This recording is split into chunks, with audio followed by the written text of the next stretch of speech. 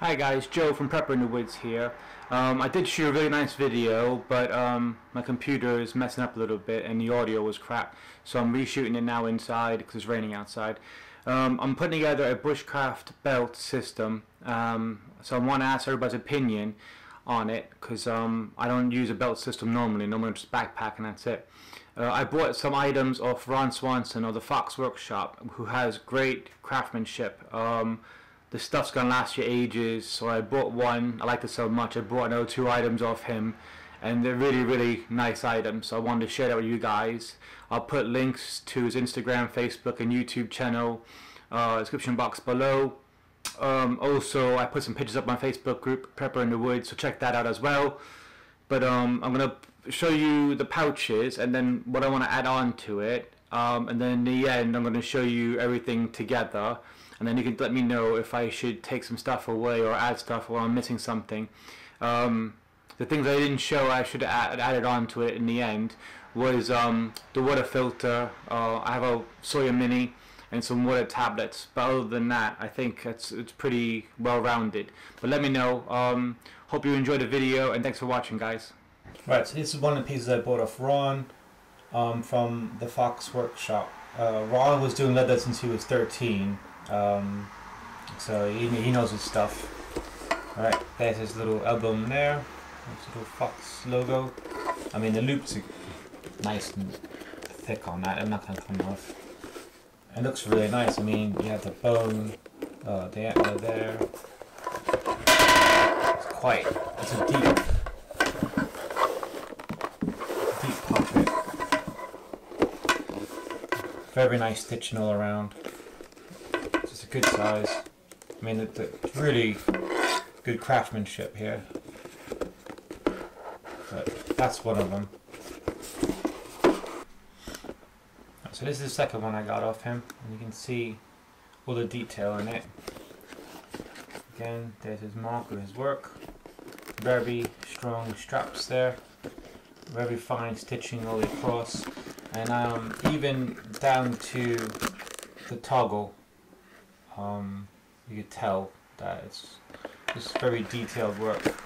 Now, I, purchased this one because of the sides here, it's expandable. So I'm thinking maybe tinder pouch for this one. I'm not sure yet with what to make what yet.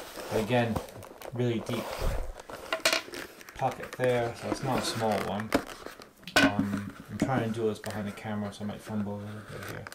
But yeah, again, Really nice work, very well detailed, very well made.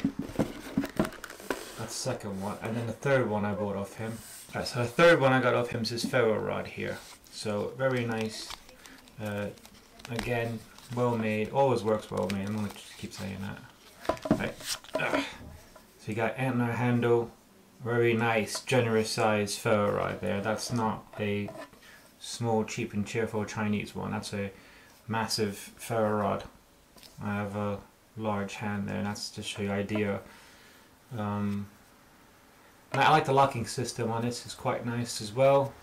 Um, the sheath itself here, there's this little mark again, but again it's just really good uh, craftsmanship, so very happy with that. So those are my three items that so far that I'm going to use on a belt system for bushcraft.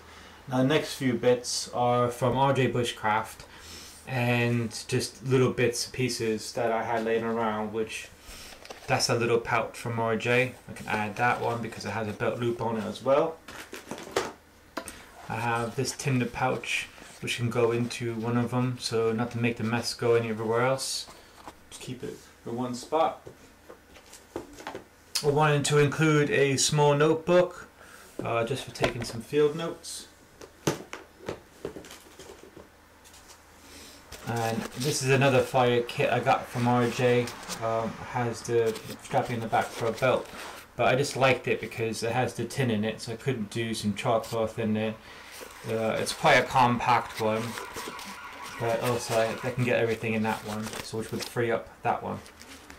Right, so some add-on pieces I like to bring be my Leatherman Wave. It has a saw on there and two blades, which might be handy. That's my wheel I use for my um, bow drills.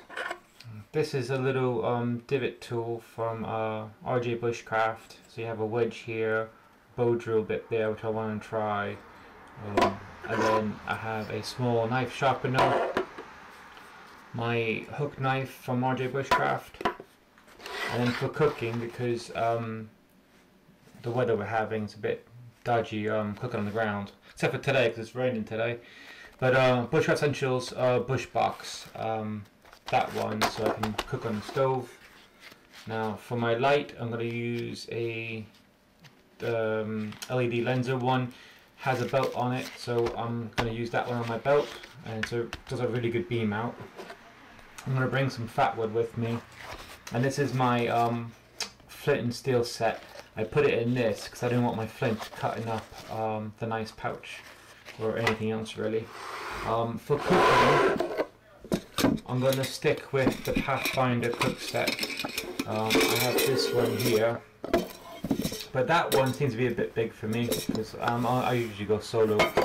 Um, the bottle is great, and then I use a handkerchief. Again, you can tell um, for cooking.